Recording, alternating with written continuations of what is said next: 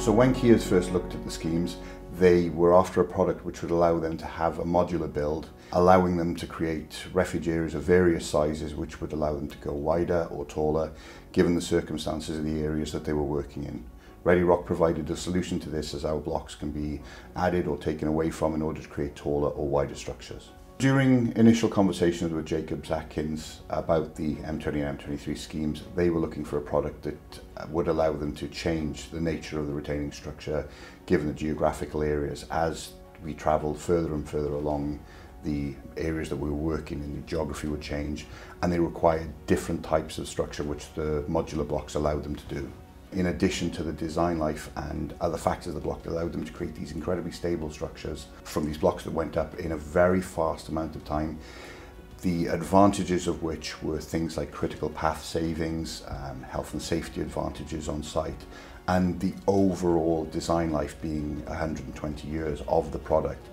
That gives it long-term viability and short-term benefits of quick construction speeds and a safe method of construction the nature of the walls they were trying to construct were very varied. Some walls were shorter, 10 to 20 meter region, and some of the walls were quite considerable in the 100, 150 meter plus.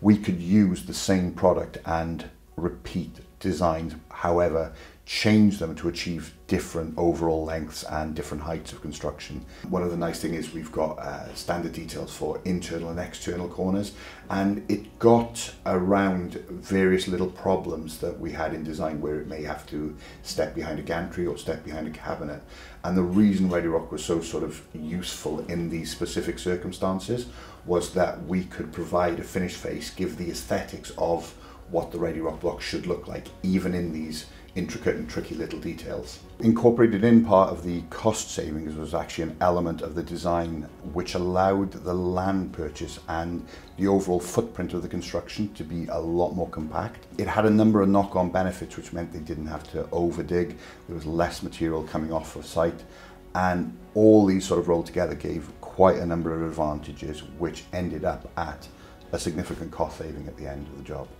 the approximation of numbers that we came to was around about sort of 16 million pounds worth of savings, around about 5% of the overall scheme value. All of those savings were able to be handed back to National Highways. One of the ways that Kier's uh, came to these cost savings was that we'd shortened that critical path program and that obviously had knock-on effects with cost savings, time savings and additional health and safety benefits where people weren't sort of working next to adjacent uh, live lanes. It was a big push from their side. One of the things we were especially delighted about, uh, Kier's put this forward for the SECBE awards. It was an innovation award for the product in that it had delivered these savings so a very neat aspect of using a precast block as a gravity retaining structure instead of another form of gravity structure is that you're not handling secondary materials. Apart from the backfill material aren't necessary. It reduces wastage, you don't have formwork or false work to, to form these kind of structures and that in and of itself means that modern methods of construction terms you, you have very little off-site material going to waste.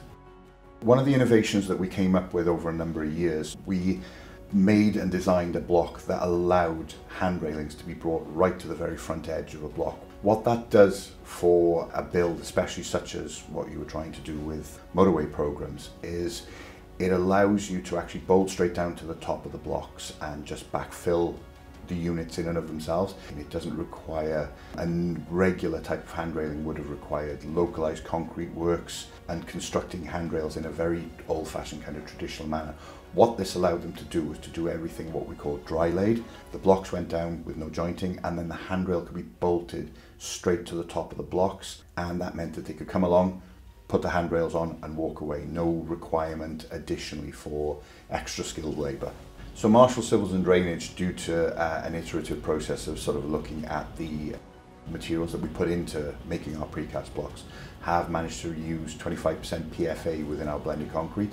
So what it allows us to do is give us an accurate figure of our CO2 footprint from sort of cradle to grave of production of our precast blocks.